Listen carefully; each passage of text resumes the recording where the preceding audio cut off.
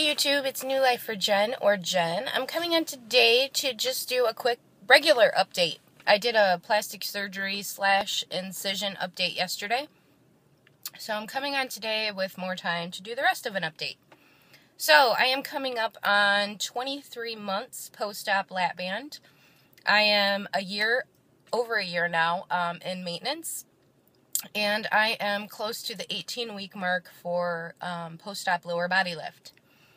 So, what's up? What's new? Um, weight has been fluctuating between anywhere between 140 145 i've seen as high as 148 and it's only because my food um, has been way off um, exercise has picked back up um, started the c to 5k last week finished it and i just hurt i had a a neck procedure done last week, um, which is more or less a nerve burning. I have cervical and lower lumbar stenosis.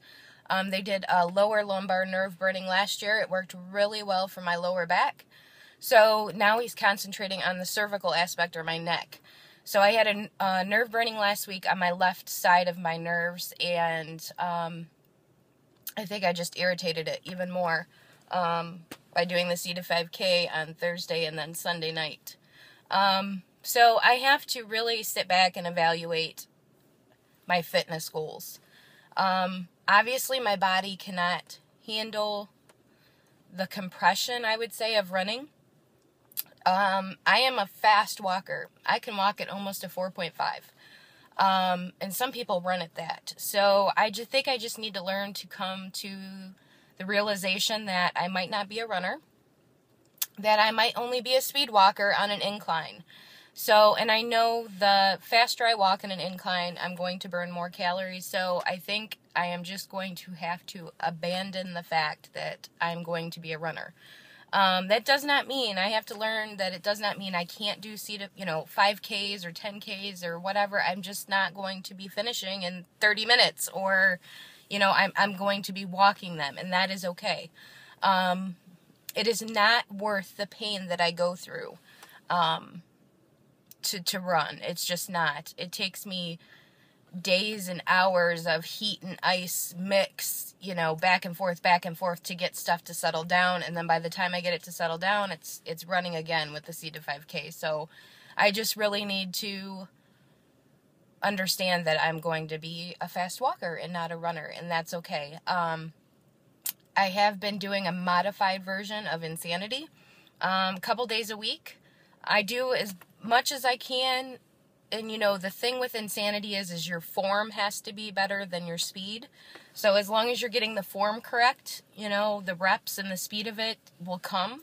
So I've just been doing that again with just a modified version of what my body can handle, and that's okay. Um, I set su- such high expectations for myself, and then when I cannot achieve what I set out for myself, I get very discouraged.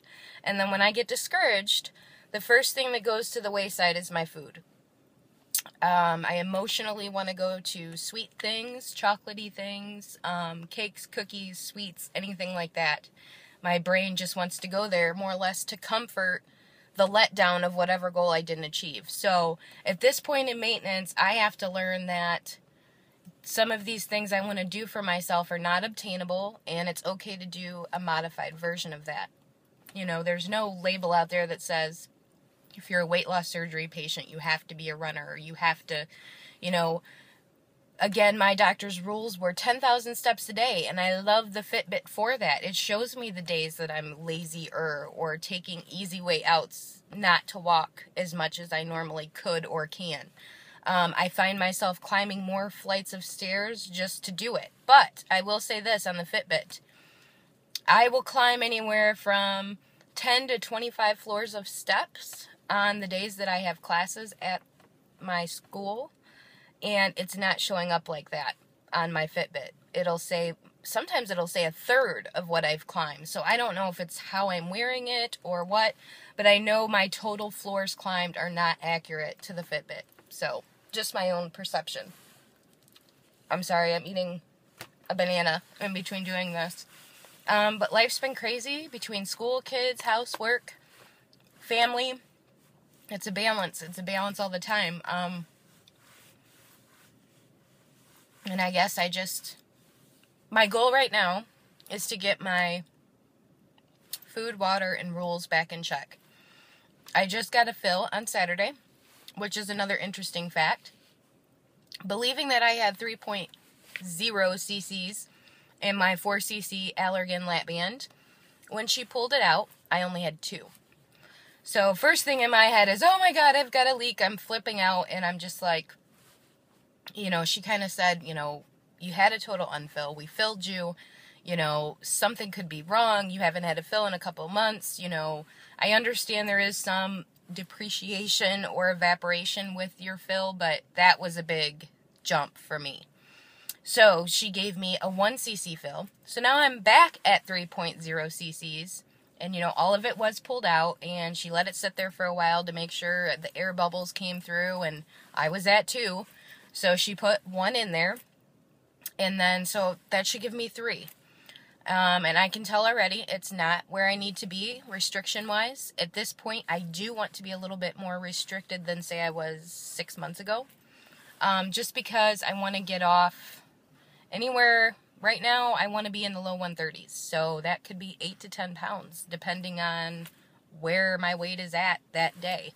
Um, I haven't seen the 130s now again, and it's been a while, and it's because of my food choices. So, and I know I can do it. I know I can be in the 130s in probably a week of solid eating would put me safely into the 130s, but there's just something where I would do well for two, three, four days, and then emotional crap will happen, and the first thing I'm running to is to go get crap. Um, candy, chocolate, sweets, bad stuff. And I'm not at that point yet where I can do limited quantities where I'm allowing myself a little bit because at this stage I want a lot of it. So I can't just say, okay, Jennifer, you're going to have X amount today because I take it way overboard. There is no, at this point right now, there is no small amount. It's like all or nothing for me. And that's just how I am. So I've got to get my head out of that mode before I can even let little bits back in. So at this point for me, it kind of has to be all or nothing in the means of all healthy, no crap. Because I've got to get out of this cycle. Because what'll happen, and this is great for maintaining, and it worked great for me last year. I'd be on Monday through, you know, Thursday, Friday night, I'd have, you know, a good dinner, and I would open up on the weekend, and it would be a little more safe. But that's because I was maintaining and I was happy where I was at. Now I actually kind of want to lose. So I have to go back to being more strict with myself. And this is just the balance of maintenance. Now, will I say that I have a solid regain right now? No. Um, just because of the fact, I swear to goodness, I'm still swelling. And I swear that some of this weight that's left on me is swelling. So I don't know what my solid weight would be. Um, I'm counting it for what it is right now, but I don't consider it a regain. Why? Because 95% of the month, I am under my goal weight of 145 pounds. So to me, that's maintenance. So I just set a lower standard for myself when I got into the one low 30s, which I was looking at my calendar, and at this time last year, I was like 141, 142. So I'm almost, I mean, the exact same spot I was last year. I just like the one lower 130s better. Um, now, I did reach that low 130s right before Vegas, and that's because we were doing a Vegas challenge, and my food was on, and my exercise was on. I was doing kettlebells like a mad woman, and I was trying to tone up, and I was I know I had lots of lean muscles, so things are different in the aspect of my body because I don't believe I have the muscle that I did a year ago. But it'll get back there. You know, that's the thing that people have to realize when you're getting ready to go through plastic surgery downtime. And if your food is not on, then you're in trouble because exercise is not going to be an option. If you're using exercise to compensate your bad food habits, you're going to be in deep trouble with plastic surgery. Deep trouble. And I'm not just saying bad food habits, it could be alcohol habits, it could be any extra calories that you're getting rid of through exercise before a plastic surgery, if you have those habits after, you're going to gain. You're going to gain fast because you lose muscle mass fast. So, just my little tip for you before plastics, get your food right. Get your head right because it is as much as a physical transformation as it is a mental transformation with plastics. Um, I could go on forever about that. But um, that's just a quick update. That's where I'm at. I will keep updating you guys, and I hope you guys all have a great week, and we'll talk to you soon. Bye.